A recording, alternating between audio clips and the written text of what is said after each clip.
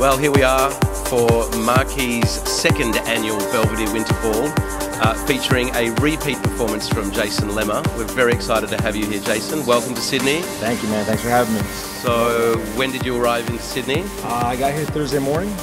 Uh, left Tuesday, Las Vegas, blazing hot, and then I come out here and it's nice and cold. It's perfect. It's perfect contrast. The, the Blizzard Wizard has arrived. The winter storm is here. It's a big Saturday night for Marquee, and we are amped to have you here, bro. Happy to be here, man. Excellent.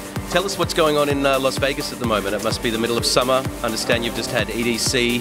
Yeah, right now we just we just finished having a EDC, and then right now, basically Vegas is all about the pool parties. Uh, Marquee Day Club is like it's on fire every weekend. We got everybody coming through from like Armin to Kaskade, Wow.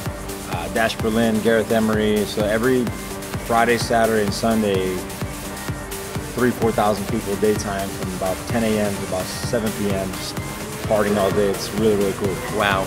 Well, one of the things that we're very blessed to have you here for is to bring that Las Vegas experience to Marquee Sydney for a Saturday night. What do you have in store for us tonight? Um, I'm trying to bring like some of the best, some of the best music that's been working in a day club and a nightclub. Some surprises, some familiar stuff, but definitely going to keep it shifting the groove and keeping you know everybody moving and shaking. It's gonna be nice. Awesome. Well, we are truly blessed to have you here, Jason, for another round of the Belvedere Winter Ball.